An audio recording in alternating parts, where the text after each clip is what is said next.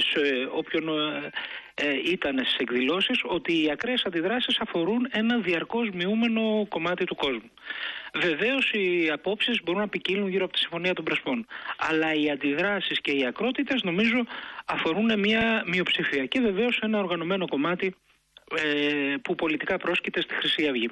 Αυτή η ανησυχία, η διαίρεση και ο διχασμός νομίζω σε μεγάλο βαθμό απεικονίζεται και από τις αντιδράσεις του κόσμου. Δεν συμφωνείτε με αυτό που είπε ο κύριος Παπάς, ότι κατά βάση τα επεισόδια γίνονται από χρυσαυγίτες; Εντάξει, εγώ δεν ξέρω την πολιτική ταυτότητα των ανθρώπων αυτών. Υπήρχε οργανωμένο και... κομμάτι όμως τη Χρυσαυγή, συγγνώμη για τη διακοπή. Ναι, δεν το ξέρω αυτό. Ναι. Ε, δεν είδα δηλαδή να το πω καπέλες. Τώρα, ε, το αν είναι στη Χρυσή Αυγή ή δεν είναι στη Χρυσή Αυγή δεν το ξέρω. Εκείνο που είδα, είδα κόσμο.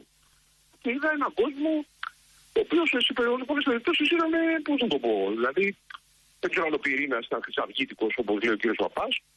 Αλλά πάση το είναι ότι υπήρχε μια ευρύτερη συμμετοχή κόσμου σε αυτό το πράγμα, δηλαδή στην αποδοκιμασία του κυβερνητικών στελεχών.